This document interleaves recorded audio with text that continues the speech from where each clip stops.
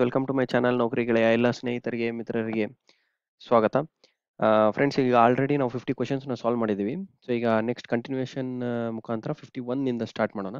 So ಈ videos ಎಲ್ಲ electrical electronics and communications as well as for mechanical ಇದೆಲ್ಲದಕ್ಕೂ cover ಮಾಡ್ತೀನಿ.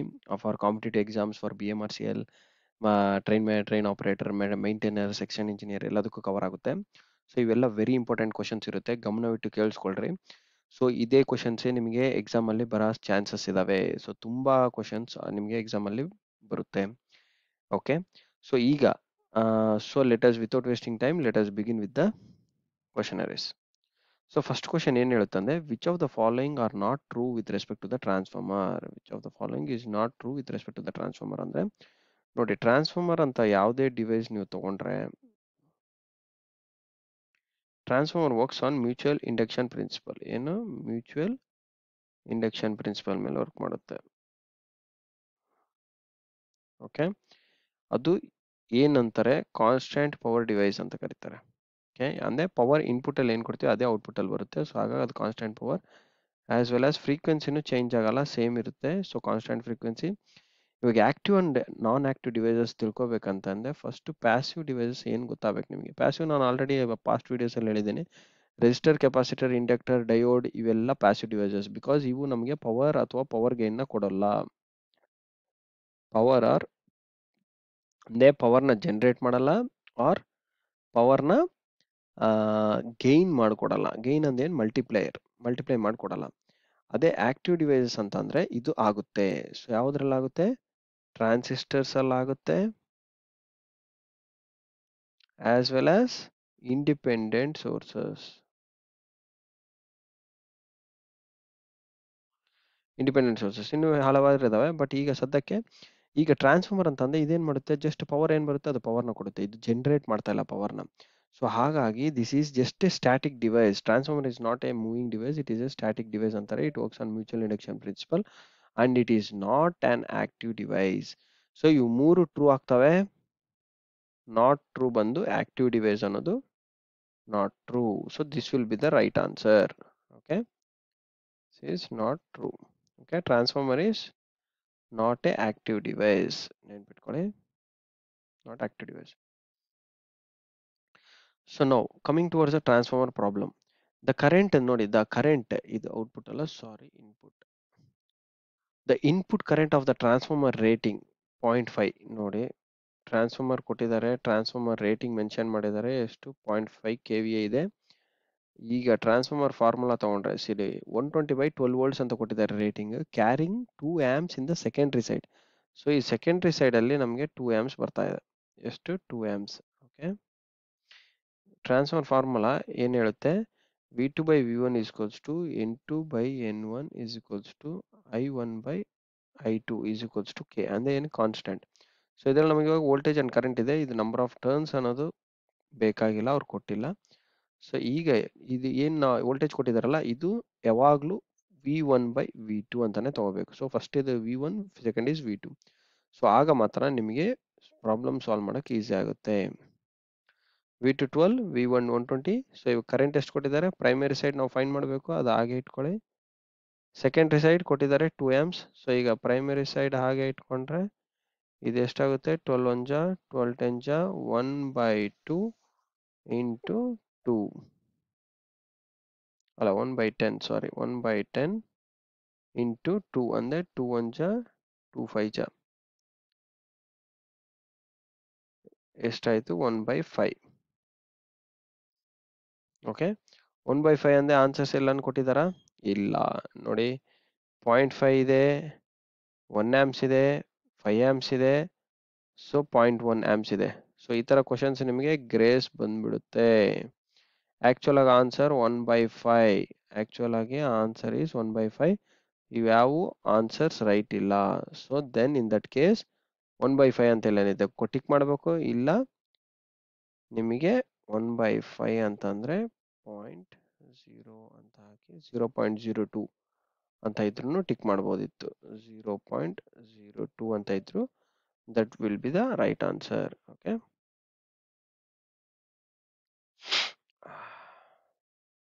Zero point zero two ಅಲ್ಲ, zero point two, okay? Zero point two. ನೋಡಿ ಇಲ್ಲಿ, just point ಹಾಕಿದಾಗ zero ಮಾಡುತ್ತೆ ಫೈವ್ ಟು ಜ ten, okay? So point two ಇದ್ರೂ ಆಗ್ಬೋದಿತ್ತು. ಇಲ್ಲಿ ಪಾಯಿಂಟ್ ಒನ್ ಇದೆ. So nothing will be the right answer next what happens when one phase is open in three phase supply ನೋಡಿ ಇವಾಗ three phases ಇದೆ.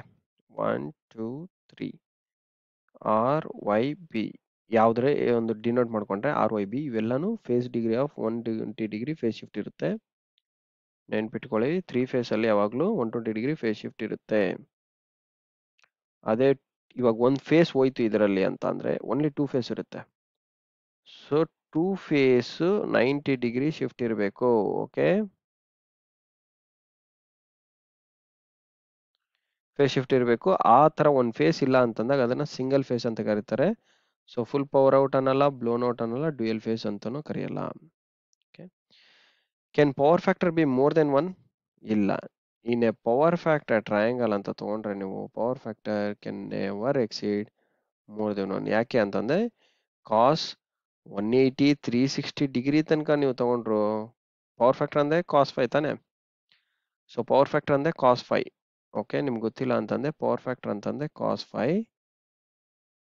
ಇವಾಗ ಫೈ ಆ್ಯಂಗಲ್ ಅಂದರೆ ತ್ರೀ ಸಿಕ್ಸ್ಟಿವರೆಗೂ ಹೋಗ್ಬೋದು. ಸೊ, ತ್ರೀ ಸಿಕ್ಸ್ಟಿವರೆಗೂ ನೀವು ಕಾಸ್ ವ್ಯಾಲ್ಯೂನ ಕ್ಯಾಲ್ಕುಲೇಟ್ ಮಾಡ್ಕೊಂಡ್ರೆ ಒನ್ಗಿಂತ ಜಾಸ್ತಿ ಹೋಗಲ್ಲ. So, always it is less than one and greater than zero okay so it is not possible is the right answer rest all are wrong when a circuit is called resonance ನೋಡಿ resonance ಅಂತ ಯಾವಾಗ ಕರಿತೀವಿ ಅಂತಂದ್ರೆ resonance ಅನ್ನೋದ್ರಲ್ಲಿ series as well as parallel ಎರಡು ಬರುತ್ತೆ okay ಈಗ, ನಾನು ಗ್ರಾಫ್ ತಗೊಂಡ್ರೆ ಏನು versus current versus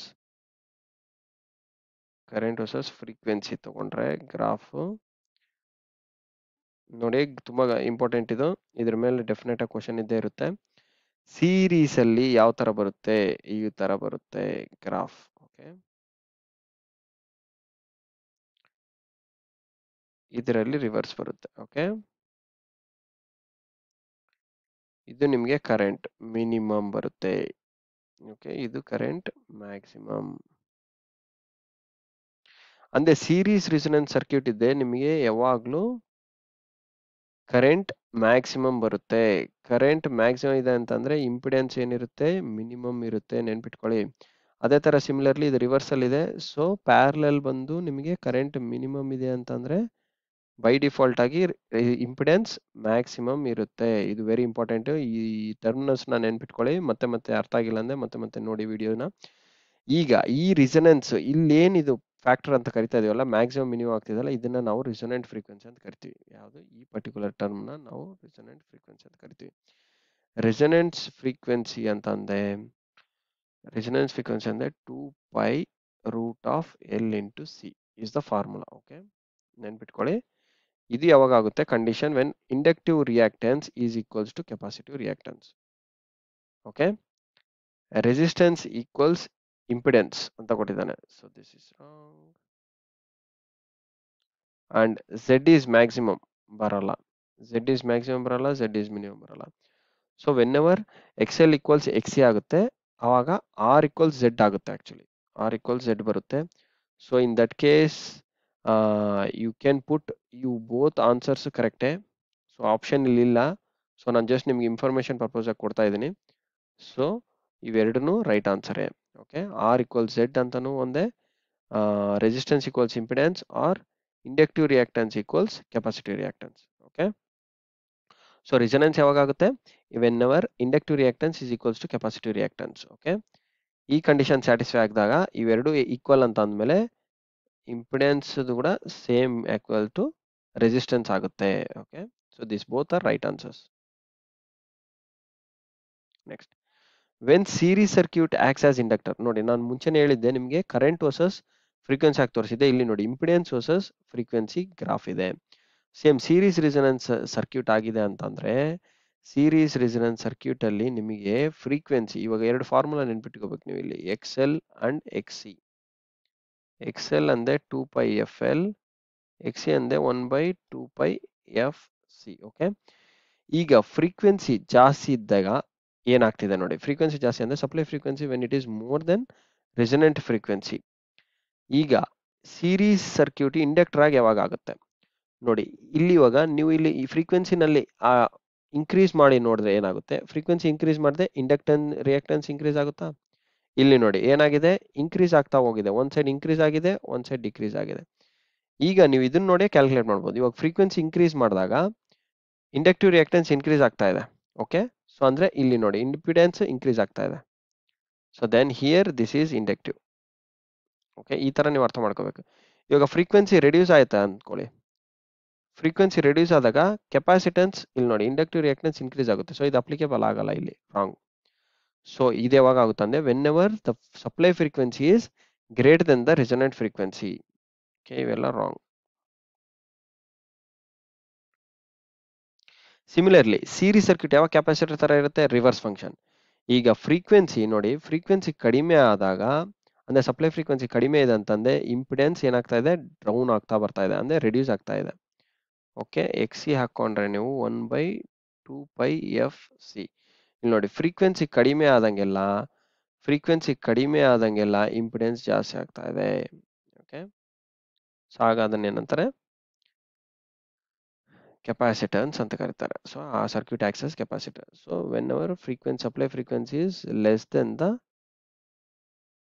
resonant frequency, then it acts as capacitor. Okay? ಅದೇ ತರ when parallel circuit acts as capacitor parallel circuit acts as capacitor ಇದನ್ನು ಸೇಮ್ ಫಂಡಾನೆ ಜಸ್ಟ್ ಕರು ರಿವರ್ಸಲ್ ಇರುತ್ತೆ. ಅಲ್ಲಿ ಏನೇನು ಹಾಕಿದೀವೋ ಅದನ್ನ ಉಲ್ಟಾನಲ್ಲಿ ಬರ್ಕೋಬೇಕು ಇಲ್ಲಿ. ಓಕೆ ಅಂದ್ರೆ ಈಗ ಫ್ರೀಕ್ವೆನ್ಸಿ ಇನ್ಕ್ರೀಸ್ ಆದಾಗ ಫ್ರೀಕ್ವೆನ್ಸಿ ಸಪ್ಲೈ ಫ್ರೀಕ್ವೆನ್ಸಿ ಇನ್ಕ್ರೀಸ್ ಆಯಿತು with compare to resonant frequency ಅಂತ ಅಂದರೆ ನಮಗೆ ಕೆಪಾಸಿಟರ್ ಏನಾಗುತ್ತೆ? ಇಲ್ಲಿ ಇಲ್ಲಿ ಕರು ನೋಡಿ, ಇಲ್ಲಿ ಕರು ಯಾವ್ದು ಹತ್ರ ಹೋಗ್ತಿದೆ? ಡೌನ್ ಬರ್ತಾ ಇದೆ. ಸೊ ಡೌನ್ ಬರ್ತಾ ಇದೆ ಅಂತ ಇಂಪಿಡೆನ್ಸ್ ಡೌನ್ ಆಗ್ ಡ್ರಾಪ್ ಡೌನ್ ಆಗ್ತಾ ಇದೆ ಅಂತಿದೆ when increasing frequency impedance is decreasing means it is capacitor capacitor formula ಏನು? X L is equals to one by two by F C ಅಂದ್ರೆ ಯೂನಿವರ್ಸಲ್ ಪರ್ಪಸ್ನಲ್ ಫ್ರೀಕ್ವೆನ್ಸಿ ಇನ್ಕ್ರೀಸ್ ಆದಂಗೆ ಇಂಪಿಡೆನ್ಸ್ ರೆಡ್ಯೂಸ್ ಆಗ್ತಾ ಇದೆ. ಫ್ರೀಕ್ವೆನ್ಸಿ ಕಡಿಮೆ ಆದಂಗೆ ಇಂಪಿಡೆನ್ಸ್ ಇನ್ಕ್ರೀಸ್ ಆಗ್ತಾ ಇದೆ. ಅಂದರೆ ರೆಸಿಪ್ರೋಕಲ್ ಅಂತಂದರೆ ಇದು ಕೆಪಾಸಿಟನ್ಸ್ ಇದು ಕೆಪಾಸಿಟನ್ಸ್ ಓಕೆ ಸೊ ಕೆಪಾಸಿಟರ್ ಥರ ಯಾವಾಗ ಆಕ್ಟ್ ಆಗುತ್ತೆ? ವೆನ್ ರೆಸನೆಂಟ್ ಫ್ರೀಕ್ವೆನ್ಸಿ ಈಸ್ ಇಲ್ಲಿ ನೋಡಿ supply frequency is more than the resonant frequency so ಅವಾಗ ಇದು ನೀವು ಟಿಕ್ ಮಾಡಬೇಕು.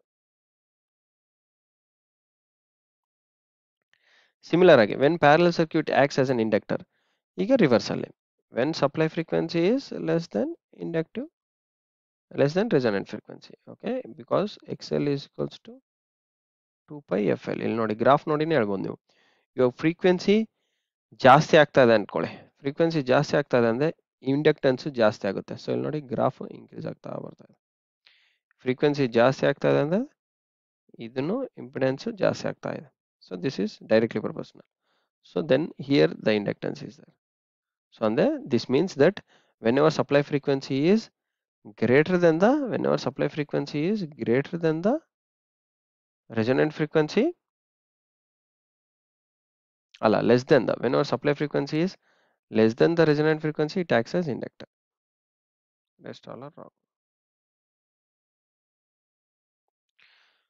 And finally, coming towards the last question, when parallel circuit is said to be resonance, ನೋಡಿ, parallel circuit is said to be resonance, impedance ಏನಾಗುತ್ತೆ? ನಾನು already ಹೇಳಿದ್ದೀನಿ ನಿಮಗೆ first ಅಲ್ಲೇ.